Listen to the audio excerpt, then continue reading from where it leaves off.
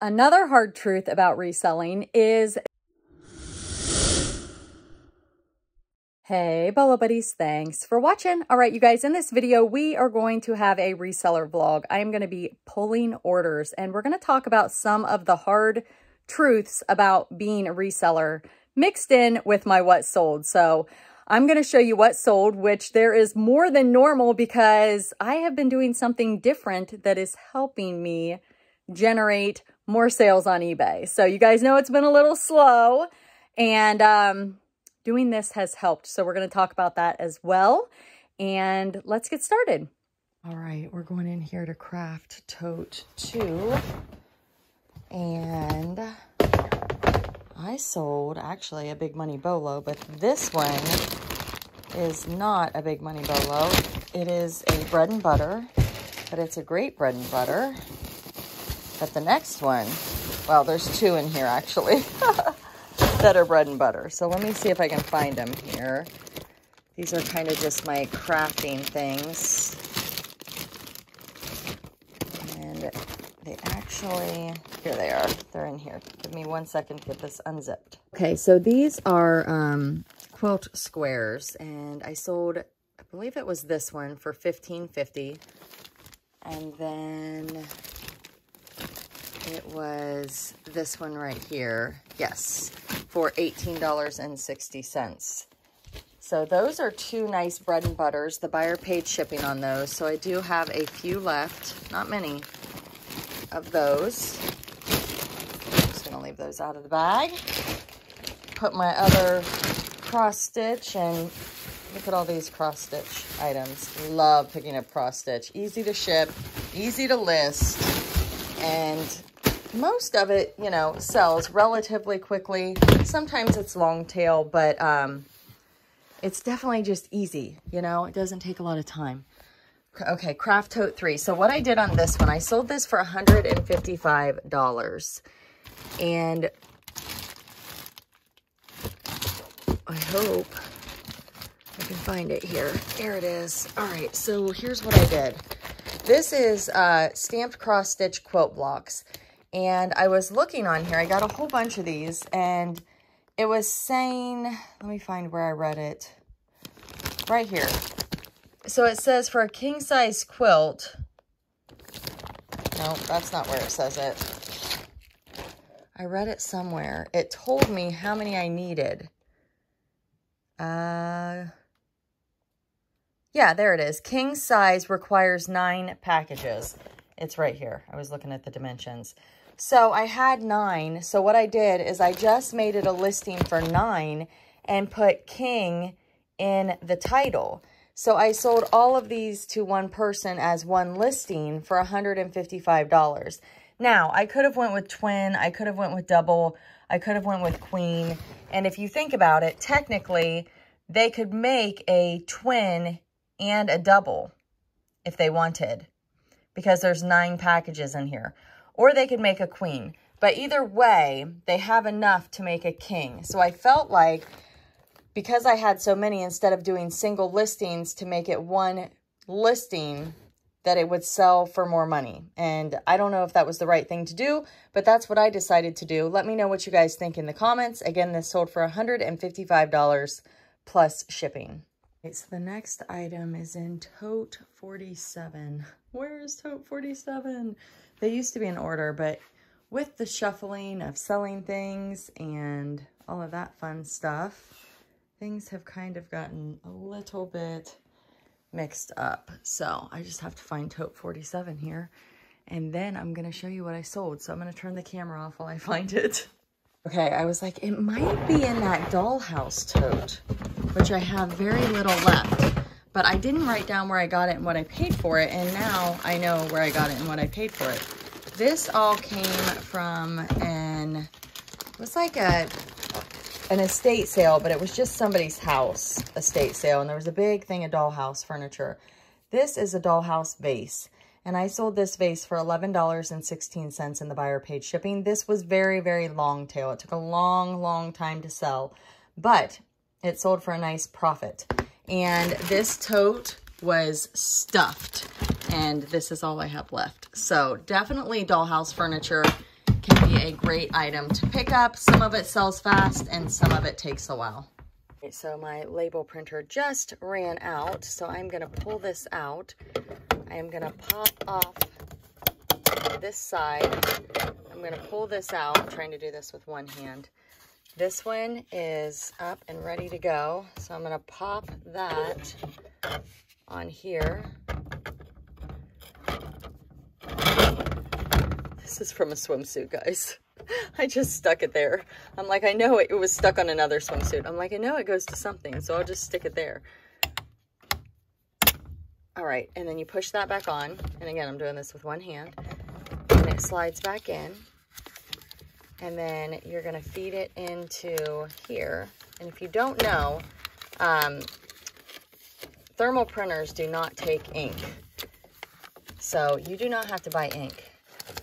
I did not know that. I know that sounds silly for all of you that knew that, but I did not know that. I thought I was going to have to be buying ink, and, and then I just tighten it up, and then it's ready to go. Right, you can see me. Hi! Hi! Now it should be lined up.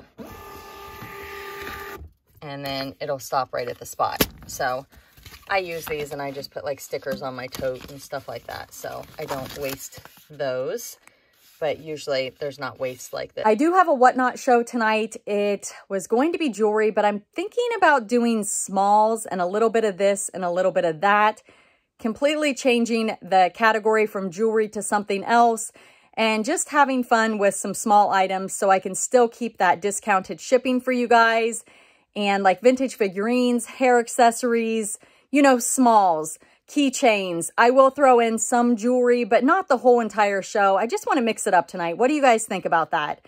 So uh, maybe some toys.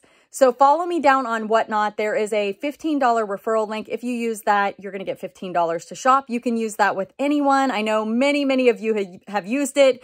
And maybe some of you have used it and you don't want jewelry. Well, this is a great opportunity to come on over and maybe find something that interests you. I did also enter, um, not enter, I was asked to be a part of the Boo Fest, and that is going to be on August 25th. My time slot is noon to 2. I am the first person on Friday morning to go. Um, as you guys know, I do not do morning shows. I do nighttime shows. So this is going to be really different from me from me for me. But I know a lot of you have asked, can I do daytime shows? Can I go on earlier? I've been trying to go on at 9.15 certain nights instead of 10.15. So I've made that change.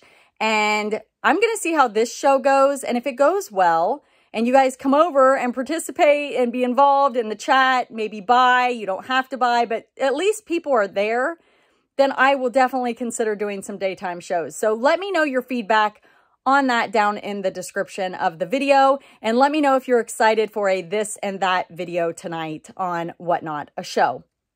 All right, you guys, let's see what else I sold today. Next item I sold, I sold two of them for $34.70 and the buyer paid shipping. So you can see I kept adding stickers because I kept selling out of the sizes and I kept condensing them into totes.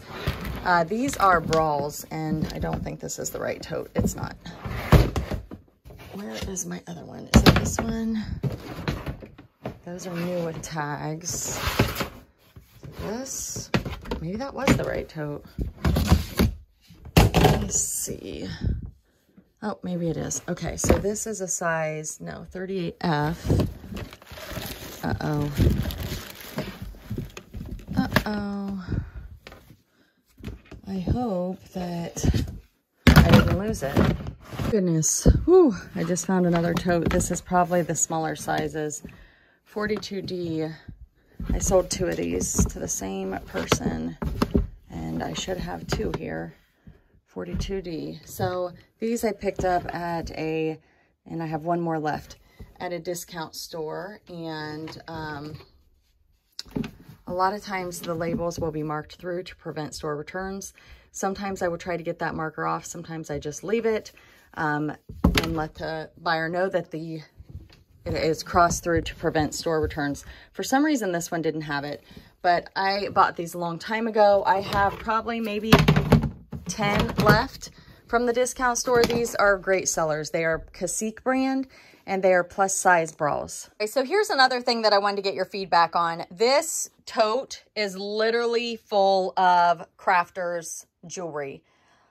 There is a ton. So I was thinking about putting them in one to two pound, um, one to two pounds in a Ziploc bag and having a crafter show. Does that interest anyone? Let me know down in the comments. This would be over on Whatnot because this tote just keeps getting fuller and fuller and fuller. I know so many of you craft, like this one has rhinestones in that you could repurpose, so much things, or so much things, so many things that you could use to, uh, some of them just need clasps, some of them need restrung, so there's beads, there's just different things. Some of you I know like to junk journal. Some of the things would be good for that.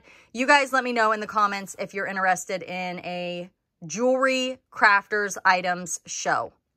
Right, this next item a viewer picked up for $10. It's a pair of pants, and she did message me asking me if I combined shipping. So the answer to that is yes, absolutely. Now, I do prefer that you guys message me before you pay uh, because once you pay, it's hard to, you can't really modify the shipping. But because she paid for one item, what I told her to do is go in and make me offers on the other items, and then I will send her an invoice with discounted shipping. But if you automatically pay on eBay, it charges you the shipping right then. So if you send the offer, I'm able to go in and adjust the shipping. So if you guys have customers that reach out to you that want combined shipping, that is what I recommend you tell them do, to do is to make an offer. Now you can also set up discounted shipping on items uh, that it automatically does it when they add items to their cart. I do have that on some of my items, but not some of my bigger stuff. So that is another option as well that you guys can play around with. So just a little feedback there, something that happened today that ways a workaround, I guess, to give somebody the combined shipping. So let's look at the next item that's sold. It's in this tote room and I never put the lid back on the craft tote. And I think I need to get into one of these bottom totes. I do. So we're to do the slide. This is how I move my totes. I slide them. And a lot of you probably think this is crazy, think I should have shelving units, and maybe I should, but uh, I can I can get these three high and move them pretty easily. So what did I sell? That's not even the right thing. I'm in the wrong thing. I'm in the wrong, whoa! You guys, I leaned on a tote and it totally fell back. Where is the tote? Oh my goodness. It was right here. Did I move it? Oh my goodness. See, I have everything labeled. I bet it's this one right here. Nope, that's the craft tote. I have a whole tote of, did it get over here? There's no way it's over here. No. You guys, it was right here. It was right here. It's not there. Oh, I bet it's this gray one. it's not the gray one. How on earth? Where did it go? Okay, so the life of a reseller can be really hard, all right? I'm just to tell you. And when I talked about reselling being hard, that's not what I'm talking about. Um, we're to talk about some of that as the video goes on, but I'm to find these pants and I will be right back because I'm just completely, oh, here, is it, no, is it in here? No. Oh my goodness, this is so strange. All right, I'll be right back. Oh my goodness, I don't even know how this happened. Like, I'm the only person that messes with my inventory. My skirts my plus size skirts have always been right there. Always. So the only thing I can think is I somehow moved this, my, it was over here, these pants to here, and then they somehow got moved here, and then I moved this here and then over there, and I'm like, I can't find the pants. The pants disappeared. Here's the pants, guys. It's okay. Everything's okay. I just have to remember that they're in a different spot. These are size 22, 24. I have a whole bunch left. If anybody else is interested, I sold these for $10 plus shipping. Pick these up at a discount store. Cost of goods, anywhere from a dollar to $3. Average cost of goods when I go to that discount store is $3. I don't do that anymore, but when I used to, that was my average cost. All right, so what have I done to increase my eBay sales? I have started listing more. Uh, there were times where I was taking a week off and not listing anything. And why is that? That's because I have started Whatnot. I am putting out a video every single day on YouTube. I am selling on multiple platforms and I just have a lot going on and eBay was kind of getting pushed to the side and I was still making sales daily, but I have a big store. I mean, I have thousands of items listed, so I cannot list and still have sales, but I did see a big dip and I have taken, I don't know, three or four days over the past two or three weeks and not consistently every day listing, but getting a bunch, a bunch done in one day. And I have seen an increase in my eBay sales from that. Now, do I think consistent listing is important? Absolutely. And if I had the time, I would do that. But um, I have added in Whatnot, as we talked about, and I know some of you don't want to hear about Whatnot, but for those of you do, that do, it does change it does change how much time you spend on other things, all right? So if I do a Whatnot show, I'm usually on anywhere from three to five hours, and typically it's a five hour show. And then I'm usually shipping anywhere from two to four hours the next day. So plus I have to source the goods. So it is time consuming and I'm only going on three days a week. Donatella is going on two to three times a day. I have no idea how the woman does it. She is a total machine. Go follow Donatella on Whatnot. She is incredible. Um, I don't know. It, it's a lot. Uh, same with YouTube. For those of you that are thinking about doing YouTube, it is a lot of work for not a lot of pay if you're just an average YouTuber with average views, okay? So that would be me. I'm not getting 20, 30, 40, 100, 200,000 views on each video. I'm getting anywhere from a thousand to 10,000 views per video. So for me, it's a source of income, but it is not a huge income. So I guess the hard truth is when you divide your time, you are going to take a decrease probably in every area, but you're going to maybe see an increase overall and have different streams of income coming in, which I love. Because if I'm slow on eBay, I know that I can go over to Whatnot and I can have a show. If um, views are down on YouTube, I know that I just need to list more. So there's different things that I can do to increase revenue in each area. I can cross post more with List Perfectly. If you guys aren't using List Perfectly, I love it. Here's a demo video of how it works. And you can check that out down below. If you decide it's a good fit for you, you get 30% off your first month with referral code BOLO Buddies, all one word. So check that out um, especially if you don't do YouTube and you don't, um, and you only sell on eBay. Think about getting on multiple platforms for sure. Highly recommend it. Uh, let's see what else. So I guess my biggest takeaway for you guys, the hard truth is, if you're struggling with sales, list more. And it's not the new items that I'm selling. There are some, but I'm selling old stuff.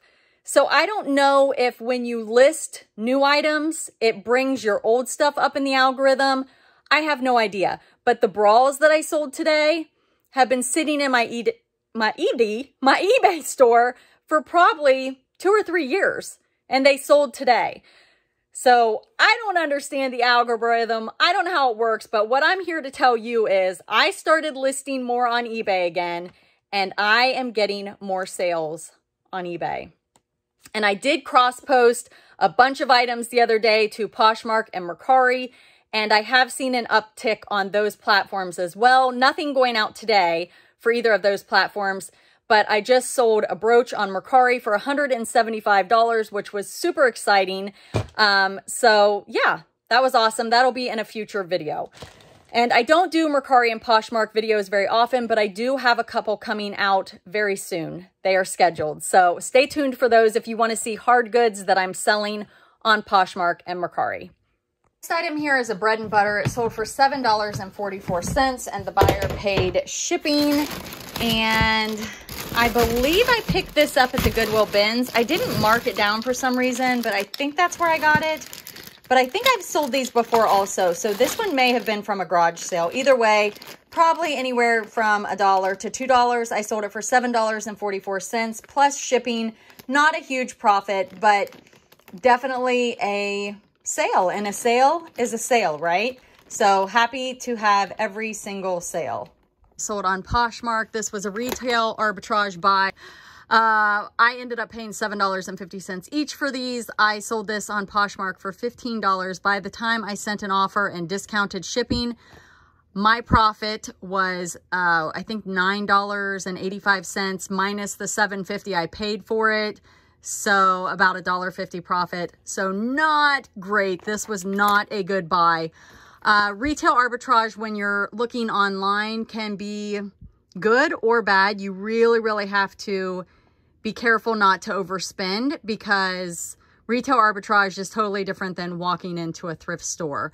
Now, I did get other things from Fredericks of Hollywood that I flipped for a nice profit. I've also done retail arbitrage on other online sites. You go on, you search for coupons, you search the clearance aisle. Sometimes you can use coupons with the clearance section. Sometimes you can't. Sometimes you will load your cart and go to pay and then the coupon doesn't work. That's no fun. I don't do this anymore, but it is an option. So um, not a good profit on this. I've just been trying to get rid of these. I did sell out of the black.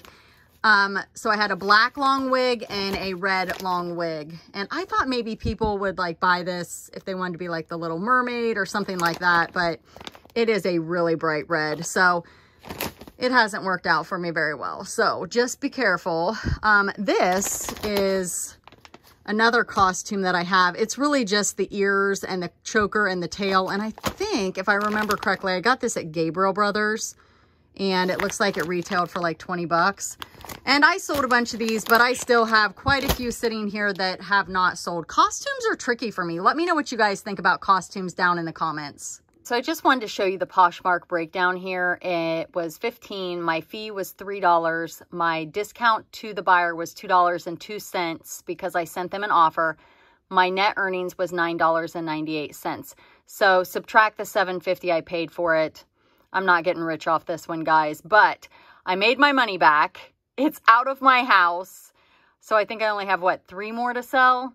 And get those Halloween items listed because these items are starting to sell now. This next item is in Tote DD right here. And this came from the Goodwill bins, so I probably got a dollar or so in it. And when I saw it, I had a feeling that it was going to be a bolo. And I will say that I do believe that if I would have waited longer and held out, I could have gotten more for this item. Um, I took an offer of $50 and the buyer paid shipping. Now this is going internationally, so they did have all of their international fees. So they actually paid more. This is a squishable, not a squishmallow, a squishable and some of these can go for big money. Definitely look it up and research which ones go for big money. Uh, it's a cuttable, some sort of sea fish or something like that. I'm not even sure what it is. I used Google Lens to figure it out. Sold it for $50 plus shipping. Right here, I am drawing a complete blank, and I don't know why I did not put it in the notes of where I got it and what I paid for it. I can't remember if this was a garage sale or the Goodwill bins, and I when I actually packaged this, it was so big that I went ahead and put it in a poly mailer. So it's ready to go. I will add more tape to this because you can see right here, it's already splitting. I may double bag it. But this monster truck costume is amazing. The lights on the front light up. I figure this is probably somebody who is early costume shopping for Halloween so they don't have to spend as much. I sold this for $62 plus shipping, and I want to say I got it at a garage sale for $5 or I got it at the Goodwill bins. And the reason I'm confused is I got two at the same time. One of them was from the movie Cars, and it sold really quickly, but it didn't have the headlights or anything fancy. And I got this one, and I think I got one at a garage sale and one at the bins, and I don't remember which is which. But either way, probably around $5 for this into 62 plus shipping. So definitely a great costume bolo. right, the next item is in tote 32. I picked this up on Facebook Marketplace. I usually keep my plush in one spot, but sometimes randomly I will pick a tote. And this day I was in tote 32. So I sold this little kitten. It's Adventure Planet, or no, I'm sorry. It is Animal Adventure.